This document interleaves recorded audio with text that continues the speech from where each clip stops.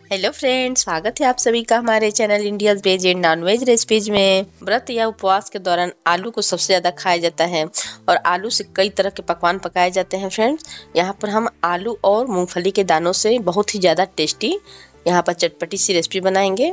जो कि बहुत ज़्यादा आपको पसंद आने वाला है। इसको बनाने का बहुत ही सरल तरीका भी है और आप इसमें व्रत में या फिर ऐसे भी इसको खा सकते हैं, बहुत ही ज़्यादा टेस्टी लगता है।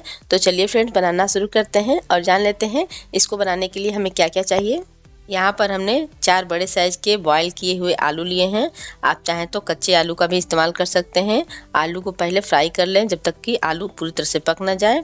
और बॉईल करने के बाद आप इसको एकदम से ठंडा होने दीजिए।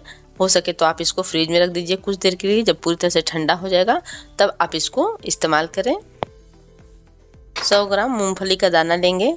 इन्हें रोस्ट करना है। आप चाहें तो बिना ऑयल के भी, बिना घी ऑयल के भी रोस्ट कर सकते हैं, या फिर घी ऑयल में भी रोस्ट कर सकते हैं। हरे धनिया की पत्तियों को हम काट लेंगे दो जगह इस तरह से। ये वाला जो है, इसमें हरे डंडल भी हैं, धनिया की डंठल भी हैं, और एक में हम सिर्फ़ पत्तियों को काटेंगे।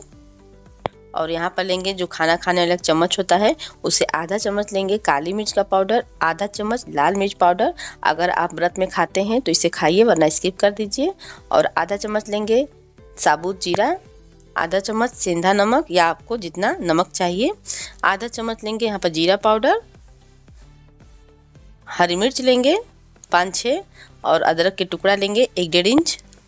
और यहाँ पर आलू को फ्राई करने के लिए देसी घी लेंगे। आप जो भी घी या तो ऑयल खाते हैं, आप उसे इस्तेमाल करें।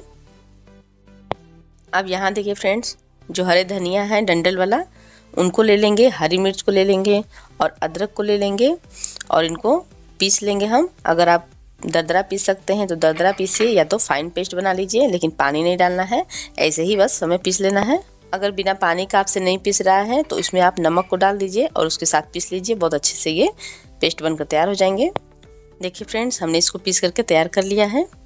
अब चलिए आलू को भी छोटे छोटे टुकड़े में काट लेते हैं। चलिए फ्रेंड्स, अब गैस को चालू करते हैं और उस पर रखते हैं कढ़ाई। उसमें डालेंगे घी और घी को गर्म होने देंगे। जब घी थोड़ा गर्म हो जाएगा तो सबसे पहले मूंगफली के दानों को भून कर रखेंगे। आप चाहें तो बिना घी ऑयल के भी यहाँ पर मूंगफली को रोस्ट कर सकते हैं। हम थोड़ा सा घी में भून कर पहले निकाल लेंगे इसको और गैस को एकदम हम कम कर देंगे। धीरे धीरे आँच पर ही ये अच्छे से भून पाएँगे। नहीं तो ज़्यादा आँच पर ये ऊपर से जल जाएँगे और अंदर से कच्चे रह जाते हैं। अब ये भून चुके हैं। इनको हम निकाल लेते हैं अलग प्लेट में। अब देखिए, इनको हम ठंडा होने देंगे और ठंडा होने के बाद आप चाहें तो इनका छिलका निकाल सकते हैं या तो फिर आप इसी तरह छिलके के साथ भी इसको बना सकते हैं। हम यहाँ पर छिलका को नहीं निकालेंगे। आप ठंडा होने के बाद इनको हम थोड़ा सा अलग निकाल लेंगे। उनको हमको दरदरा सा पीस लेना है। मतलब थोड़ा सा दरदरा सा कूट लेना है। देखिए, ये इस तरह का होना चाहिए। आप किसी पॉलीथीन बैग में भरकर ऊपर से बेलन से आप कूट लेंगे। आराम से ये बनकर इस तरह से तैयार हो जाएँगे। और ये रहे हमारे पास दोनों तरह की मूँगफली। अब चलिए बनाना शुरू करते हैं। तो उसी कढ़ाई में हमने घी जो बचा था, उसी को ले लिया है। अलग से हमने घी नहीं डाला है। अब घी को गर्म होने देंगे और उसी में आप चाहें तो एक साबुत लाल मिर्च को डाल सकते हैं और आप चाहें तो यहाँ पर करी पत्ता का भी इस्तेमाल कर सकते हैं और डालेंगे जीरा। दोनों को थोड़ा सा भुनेंगे और उसके बाद जो हमने पेस्ट बनाकर तैयार किया हुआ है, हरी मिर्च, धनिया और अदरक का तो उसको दो भागों में डिवाइड कर देंगे और थोड़े से मतलब एक चम्मच करीब हम इसमें डालेंगे और आधा सेकेंड के लिए इसको भून लेंगे। अब उसके बाद आलूओं को डालेंगे और यहाँ पर गैस को मीडियम फ्लेम पर कर देंगे और आलूओं को धीरे धीरे हमें सुनहरा होने तक भून लेना है। मतलब इस पर गोल्डन ब्राउन कलर आ जाए, जो आधे हमने मिर्च का पेस्ट डाला है ऑयल में, और उनको भूनने के बाद जब हम आलू को भूनेंगे तो इस पर चारों तरफ़ से जो मसाले हैं, आलूओं में चिपक जाते हैं और ये बहुत ही ज़्यादा अलग फ्लेवर का लगने लगता है। और चाहे तो आप न डालिए तेल में, आप ऐसे भी ऊपर से भी डाल सकते हैं। लेकिन इस तरह से बहुत ही ज़्यादा अच्छा लगता है। देखिए, अब ये भून चुके हैं। अब इसमें जो भी बचे हुए मसाले हैं, उनको डालेंगे।